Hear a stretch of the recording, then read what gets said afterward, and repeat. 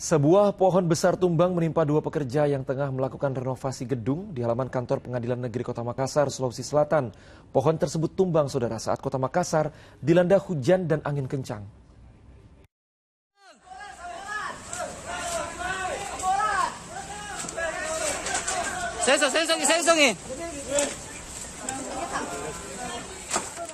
Para pekerja ini berusaha menolong rekannya yang tertimpa sebuah pohon besar yang tumbang di halaman kantor Pengadilan Negeri Kota Makassar, Sulawesi Selatan, Jumat sore.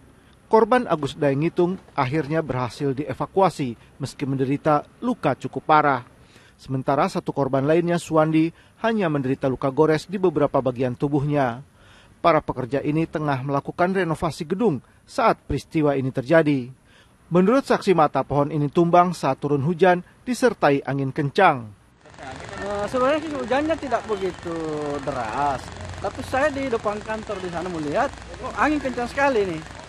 Dari arah barat daya ini kencang sekali angin, jadi kemungkinan itu uh, kalau hujan sih tidak, eh seperti ini saja sekarang kan. Tapi angin tadi memang kencang. Petugas selanjutnya memotong pohon dan membersihkan sekitar lokasi kejadian.